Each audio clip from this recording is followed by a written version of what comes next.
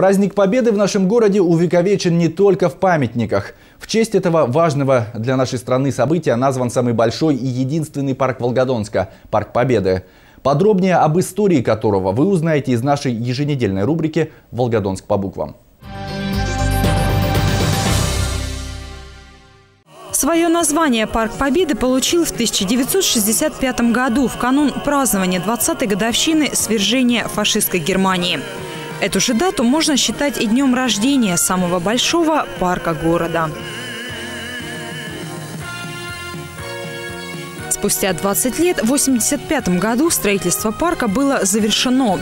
В самом центре взметнулся ввысь фонтан со скульптурной композицией, изображающей воинов-победителей – в центре фонтана, имеющего очертания большой звезды, на пьедестале находятся стальные фигуры двух солдат, попирающих ногами обломки свастики.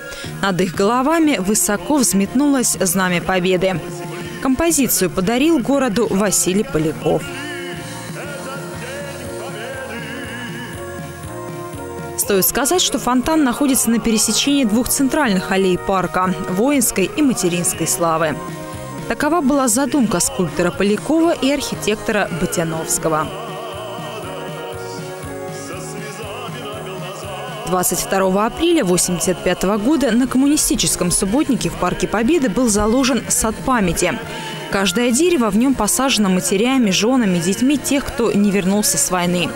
У входа плита, камень с надписью «Памяти павших будьте достойны». На ней серебрится вечный, как сама память, лавровый венок. Рядом поляна городов-героев, которую спроектировал Тарас Ботиновский. Идея мемориала проста.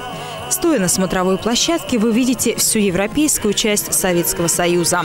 На каждом массивном камне у самой земли название города. Москва, Ленинград, Волгоград, Севастополь. Сверху на плите серебрятся большие пятиконечные звезды.